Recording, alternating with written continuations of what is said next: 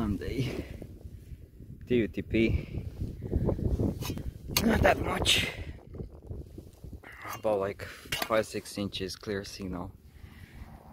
Of course, Minox 800. And guys, I hate my first ever gold coin.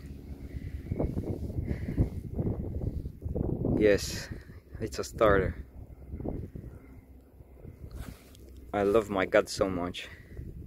He always blessed me with with everything. And today, uh, I hit my first gold coin. Um, I was about even to cry. I'm so emotional. Yeah, I kinda injured myself. But I'm so happy about it.